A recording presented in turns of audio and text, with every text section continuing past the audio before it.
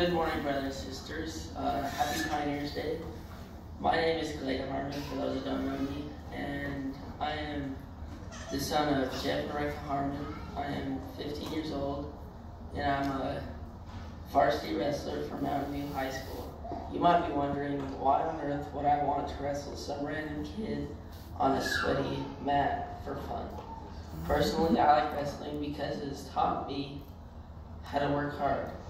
The topic of my talk is uh, missionary work and the gathering of Israel.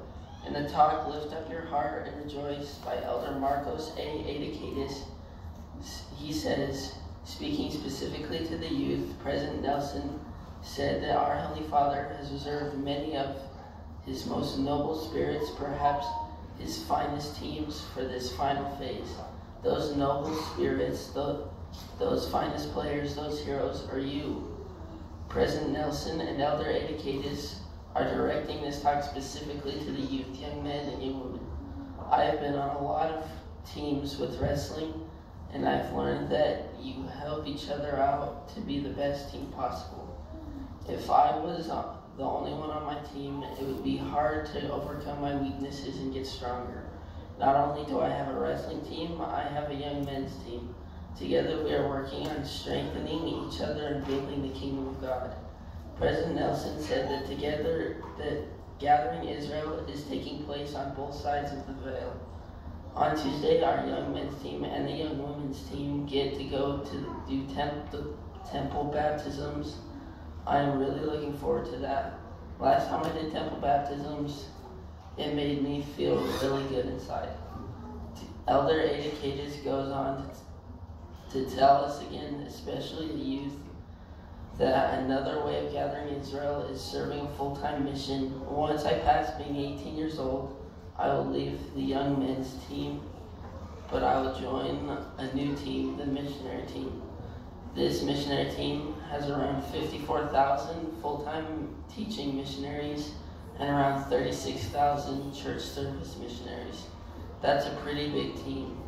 President Nelson called every young man and every young woman between the ages of 12 and 18 in the Church of Jesus Christ of Latter-day Saints the Youth Battalion of the Lord.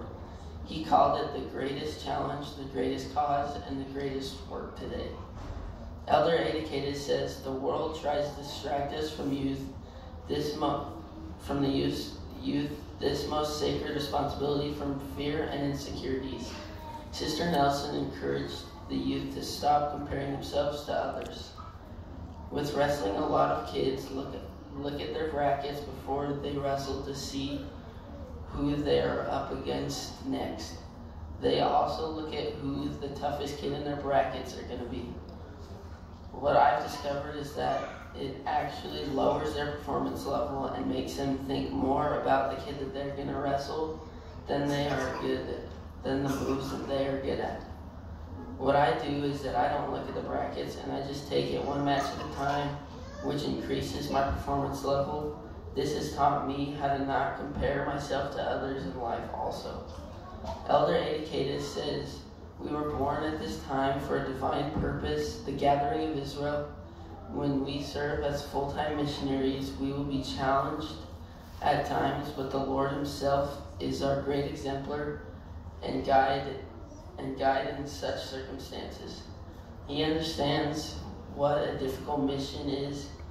With his help, we can do hard things, and he will be by our side, and he will bless us greatly as we humbly serve him. And I say these things in the name of Jesus Christ.